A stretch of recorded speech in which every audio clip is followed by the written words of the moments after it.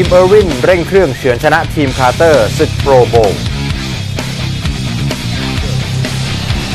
Little slot combination. I'm sure Jason Garrett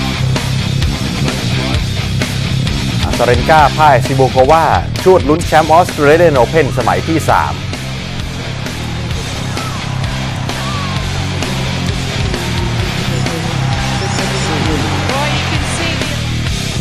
โรมาเจ้าฟิออร์ตามยูเว่เพิ่มเป็น 7 คะแนน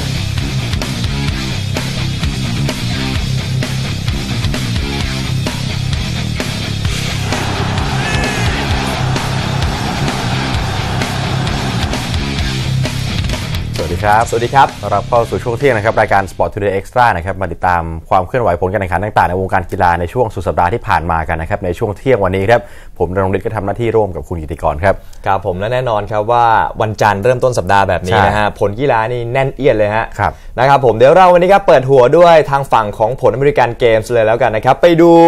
NFL ครับ Pro Bowl 2015 ครับ ซึ่ง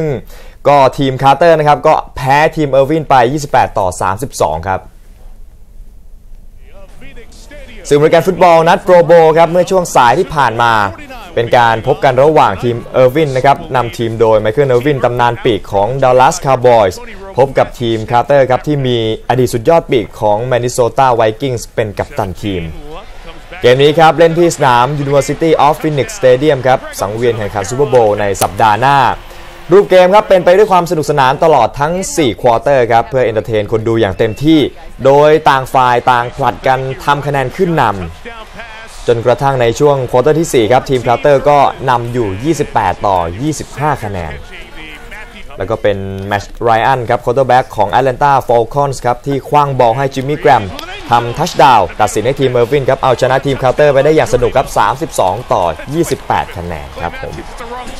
ก็เป็นเกมที่ต้องบอกว่าเรียกคนดูเข้าชมได้เยอะพอสมควรเลยนะครับสำหรับเกมนี้ Throwing for the tight end, Olsen. And Greg out of bounds incomplete. แน่นอนนะครับว่าช่วงนี้ศึกคนชนคนอเมริกันฟุตบอล NFL นั้นน่าสนใจนะครับถ้าหากว่าไปติดตามที่ขอบสนามก็จะน่าสนใจมากยิ่งขึ้นครับรวมไปถึงออสเตรเลียนโอเพนที่รอผู้ที่จะมีโอกาสไปชมรอบชิงชนะเลิศกันอยู่นะครับโดยที่ทั้งศึกซูเปอร์โบว์แล้วก็ออสเตรเลียนโอเพนในปีนี้นะครับก็เป็นข่าวดีสำหรับแฟนๆอเมริกันเกมส์รวมไปถึงเทนนิสด้วยนะครับ True U นะครับร่วมกับ True Visions และ Six Stars Travel ก็ได้จัดแพ็กเกจ 2 ทริปในฝันนะครับศึกซูเปอร์โบวล์ครั้งที่ 49 ที่อาริโซนานะครับซึ่งจะแข่งขันกันในวันที่ 1 กุมภาพันธ์นี้แล้วนะครับอีกเพียงแค่ไม่กี่วันนี้แล้วนะครับและทริปที่2ครับก็ชมแกรนด์สแลมรายการแรกของปีออสเตรเลียนโอเพนนะครับที่กรุงเมลเบิร์นในวันที่ 31 มกราคม และวันที่ 1 กุมภาพันธ์นะครับก็ใกล้ๆนี้แล้วนะครับบัตร True Black Card ทำให้มีส่วนลดสำหรับทุกท่านนะครับที่ถือบัตรครับสำหรับทริปทั้ง 2 ทริปนะครับก็สามารถติดตามรายละเอียดเพิ่มเติมได้นะครับที่ Six Star Travel หมายเลข 02 712 9800 นะครับด่วน แพ็กเกจนี้มีจำนวนจำกัดและเวลาเหลือน้อยมากครับ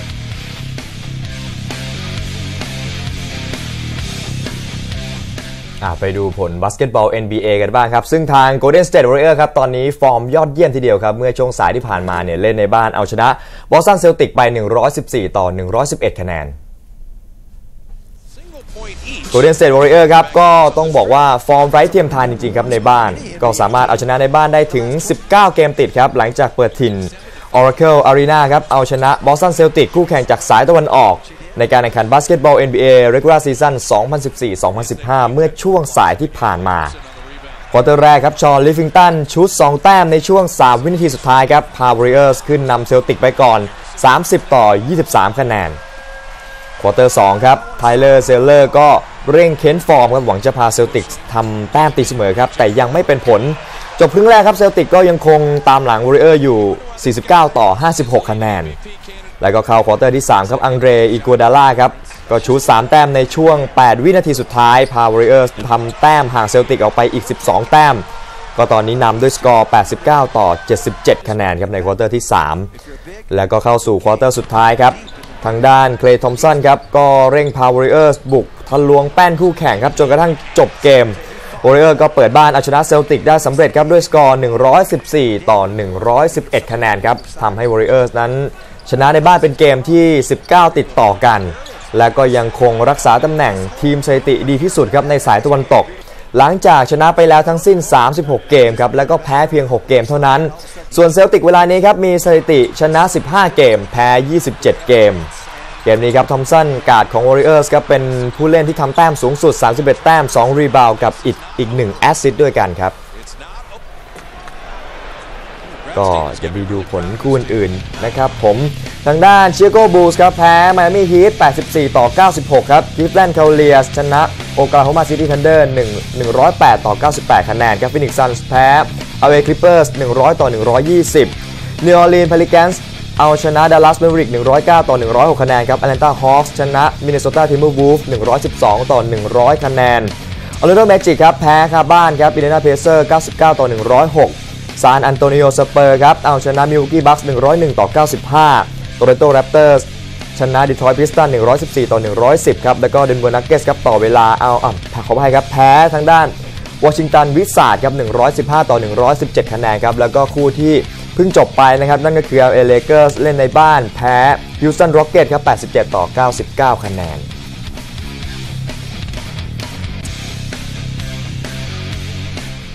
ในศึกออสเตรเลียนโอเพนแน่นอนว่าช่วงนี้กำลังเข้มข้นมากขึ้นเรื่อยๆนะครับกำลังหานักเทนนิสชายที่ผ่านเข้าสู่รอบ 8 คนสุดท้ายในขณะที่ฝ่ายหญิงเองก็สนุกนะครับล่าสุดก็มีผลของเซเรนาวิลเลียมส์มาฝากด้วยครับ โดยที่เริ่มที่ผลการแข่งขันที่เพิ่งจะจบไปสดๆร้อนๆครับสำหรับสแลมรายการแรกของปีนะครับวิกตอเรียอซาเรนกานะครับจากเบลารุสก็ชวดลุ้นแชมป์สมัยที่ 3 ต่อจากปี 2012 นะครับแล้วก็ 2013 ครับหลังจากที่ไปแพ้ให้กับโดมินิกาซิบูลโควาครับมือ 11 ของรายการจากสโลวาเกียไป 1 ต่อ 2 เซตนะครับสกอร์ที่ออกมาคือ 2 ต่อ 6 3 ต่อ6อ่า2ต่อ 6 6 ต่อ 3 แล้วก็ 3 ต่อ 6 นะครับซิบูลโควาก็เลยเป็นฝ่ายเข้าไปเล่นในรอบก่อนรองชนะเลิศหรือว่ารอบ 8 คนสุดท้าย โดยที่จะต้องไปพบกับ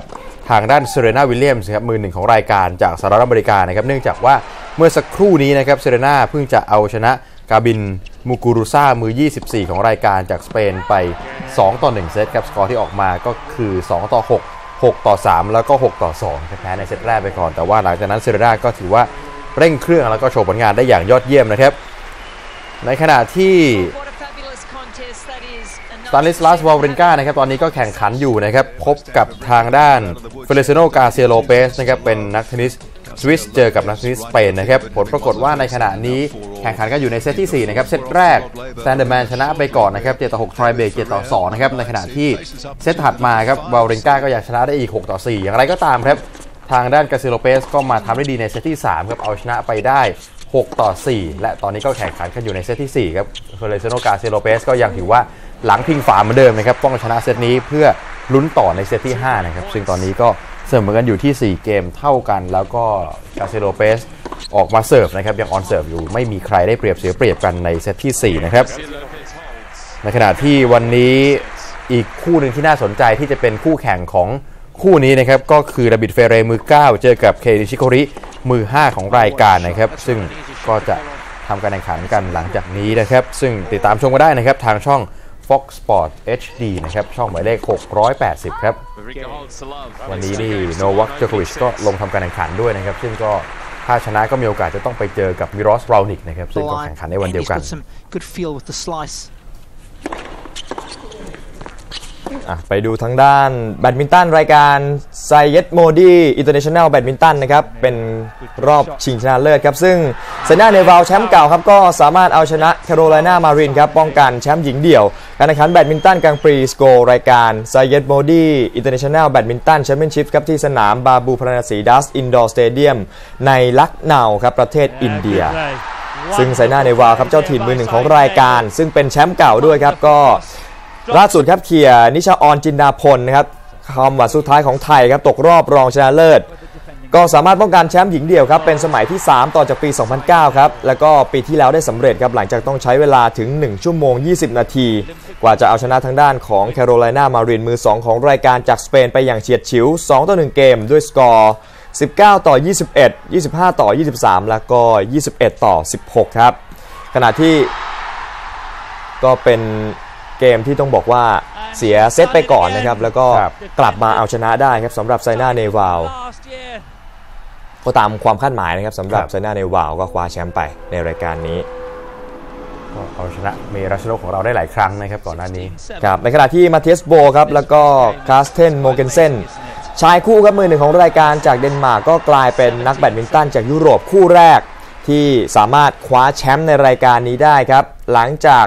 เอาชนะทางด้านของวลาดิเมียร์อีวานอฟครับแล้วก็อีวานโซโซนอฟ คู่มือสี่ของรายการจากรัสเซียไป 2 เกมรวดครับ ด้วยสกอร์ 21 ต่อ 9 แล้วก็ 22 ต่อ 20 ครับ 22-20. But the Danes concludes this match. ก็ใช้ This คู่ครับ men's ก็ double ก็ตามความคาดหมายเหมือนกันนะครับ คู่มือหนึ่งก็คว้าแชมป์ไปครองครับ มาติสโบกับคาสเซนโมเกนเซน จากเดนมาร์กครับจากเรื่องของแบดมินตันนะครับเรามาดูการแข่งขันกอล์ฟกันบ้างนะครับเมื่อวานได้บทสรุปไปหนึ่งรายการ วันนี้อีกหนึ่งรายการที่ได้บทสรุปก็คือ Humana Challenge นะครับซึ่งผลปรากฏว่าในรายการที่มีเงินรางวัลรวม 5.7 ล้านเหรียญสหรัฐหรือประมาณ 182 ล้านบาทที่ประเทศสหรัฐอเมริกา ก็เป็นทางบิลฮาสนะครับที่เก็บได้อีก 5 อันเดอร์พาร์ในวันสุดท้ายนะครับทำให้คาน ผลการที่ผลงานดีสำหรับวันสุดท้ายเนี่ยทำให้เขาสามารถครองแชมป์ PGA ทัวร์ได้เป็นครั้งที่ 6 นะครับ ซึ่งนักกอล์ฟเจ้าถิ่นมือหนึ่งของรายการนะครับที่เป็นผู้นำร่วม 1 ใน 4 คนนะครับจากวันที่ 3 ก็ออกรอบสุดท้ายทำผลงานได้อย่างยอดเยี่ยมนะครับทำเพิ่ม 5 อันเดอร์พาร์ทำให้มีสกอร์รวมอยู่ที่ 22 อันเดอร์พาร์ครับ ชนะอันดับที่ 2 ก็คือชาลีฮอฟแมนนะครับแบรนด o นสตีลสตีฟวิกครอฟแล้วก็แมตต์คูชาสี่คู่แข่งเพื่อนร่วมชาติรวมทั้ง พาร์คซุงจุนจากเกาหลีใต้ไป 1 สโตรกเท่านั้นนะครับส่วนนักกอล์ฟรายอื่นที่น่าสนใจนะครับเว็บบ์ซิมป์สันนักกอล์ฟชาวอเมริกันนะครับขยับขึ้นมาอยู่อันดับที่ 7 ร่วมนะครับในวันสุดท้ายสกอร์รวม 20 อันเดอร์พาร์ฟรานเชสโกโมลินารีจากอิตาลีครับก็จบอันดับที่ 10 ร่วมกับทางด้านรอัลพา l เมอร์นะครับโปรเจ้าถิ่นที่ทำสกอร์เท่ากันที่ 19 อันเดอร์พาครับ I think all good stuff. I really do. I think he know he knows the feelings how he felt on those นี่ short คือ putts. เรื่องของผลกีฬาที่น่าสนใจหลายรายการนะครับ ช่วงหน้าก็เป็นเรื่องของฟุตบอลนะครับ ทั้งเกาโชเซเรียอาแล้วก็ฟุตบอลลาลิกาของสเปนรอท่านผู้ชมอยู่ครับ